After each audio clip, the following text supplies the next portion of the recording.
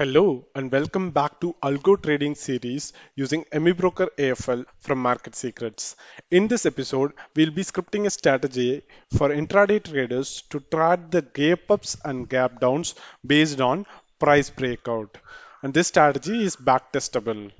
And before we head into the strategy, I got an information for you. In addition to this series, we are running multiple series in parallel and all of it is available in our website. So these are free learning series on other algo trading platforms, trading strategies and investment strategies. Do check it out when you are free. And in addition to that, we have multiple data feeds provided as well as part of our website. So check out those as well. Our website address is www.marketsecrets.in. So do check it out when you are free. And with that note, let's begin today's session. So this is gap breakout strategy. So let's first discuss about the strategy. This simply involves gap breakout. That's what the name suggests as well. This strategy is very simple. When the market opens with gap up and at the same time if it had crossed previous day's high, then it should be considered as a strong bullish signal and we should buy. And when market opens gap down and if it crosses the yesterday's low, then it should be considered as a strong selling signal and we should short. That's the core of this particular strategy. So let's begin with the rules. In simple terms, we need to buy if the stock gaps up and the price breaks the high of previous day and we need to short if the stock gaps down and the price breaks the low of the previous day. As simple as that. And we need to sell or exit our longs if the target is met or we reach the end of day and we need to cover that is we need to exit our shorts if the target is met or if we reach the end of the day that is 3:15 p.m. so now let's move on to the script part. So first I'm taking the code and I'm just going to plot it.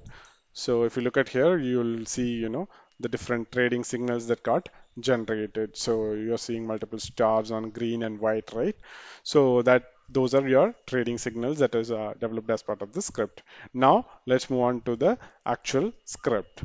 So in the first part of the script, right, so what we are doing is like we are assigning values to basic variables like target percentage and also, you know, the previous day's highs, low, open and close. And what is the end of the day? What is your start of the day? So basic parameters we are assigning value to those parameters.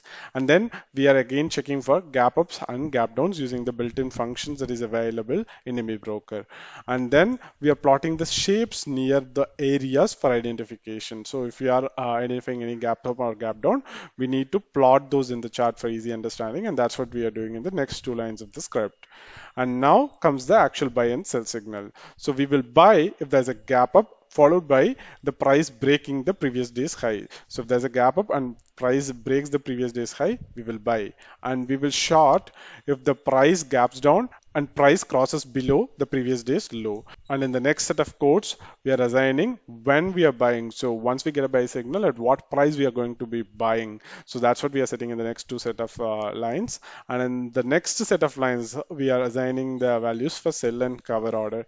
So in this case, what would be my target? So, you know, I'm setting my target. So I'll wait either till uh, my target price is reached or I'll wait till end of day. Likewise, uh, the same thing is applicable for cover order as well. So we'll either wait for the target or we'll wait till end of the day to exit. And lastly, we are plotting all these different signals in the chart. All these buy signals, sell signals, uh, we'll be plotting it in the chart. And we also have a small script for plotting the price candles in the chart. This is some useful stuff that we do. So now let's send this code for analysis window. So let's see how this code performs in the backtest. So let's run the backtest now. So if you look at the backtest results, um, you know, you're getting some profits using this strategy. And uh, likewise, you know, you can just uh, change the time frame and run a different set of backtest and you're setting different set of results along with the list of trades. So you can uh, run your backtest and uh, see, you know, which backtest uh, provides you with the optimal uh, results. And you can add any other, uh, you know, confirmation signals along with this to, you know, improvise the strategy further. So do give it a try and let us know in case of any queries, comments or issues. Our comment section is open for you. So feel free to ask anything. And with that, we have come to end of today's episode. Hit the like button if you have liked this video share it with your friends if you find it useful. Also subscribe to our YouTube channel and click the bell icon to get notified whenever we upload a new video or conduct a live session. Thanks for watching. Have a great day. Goodbye.